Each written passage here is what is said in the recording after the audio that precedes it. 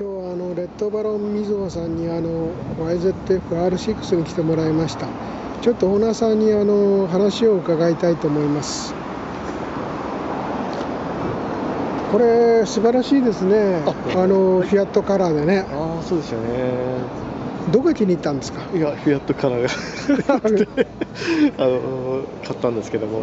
うん、その前にコッパイタリアを買ってねああなるほど、ええ。でうん。もこのカラーが気に入ってちょっとコッパイタリアを出してこれにしたんですけども。うんえそうですか。エンジンこれ何回転まで回るんですか、えこれは確か1万6500回転かな。確か。1万6500回転まで確か。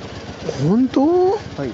そんなにあのレッドゾーンまであるの、あるみたいですよ、うん、はいそれでね俺が気になってるのがこのフレームなんだけど、はい。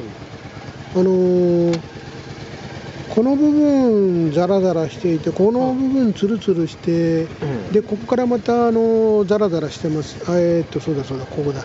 こうザラザラしていてここツルツルしていて、ザラザラしていると、うん。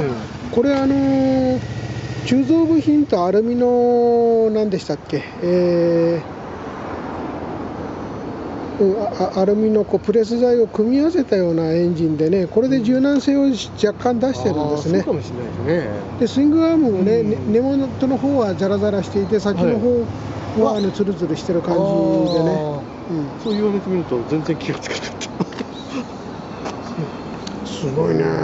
これで奥多摩をかっ飛んでるんですか？いや安全運転で。安全運転ですか、ええやってますよ、うん。あの命あってのあのバイクなんで、はい、基本ですね。そうです、うん。あのね、命を落としてからね、じゃあ乗れないんで、うん。でこれあの輸出仕様ですよね。あそうです、そうです、ってことはあのー130馬力ですか。124か、わかんない、その辺ちょっとわかんないですけども、多分そのぐらいだと思います。じゃああの最後にこう、はい。エンジンのこのエキゾーストノートを聞かせていただけませんか。まずはこうキキキーをキーを入れてもらって。えお腹が空いたらスニッカーズを食べてるんですけど、ああなるほど、い。うん、それはどうでもいいです。あそうですか。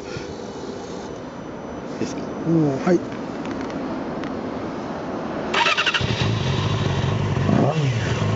おおすごい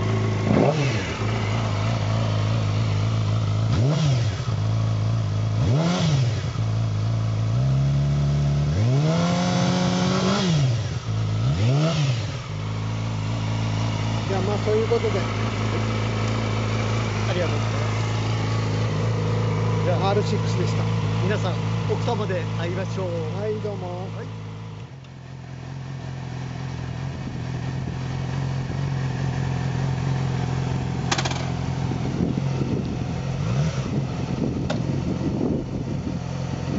じゃあお気をつけて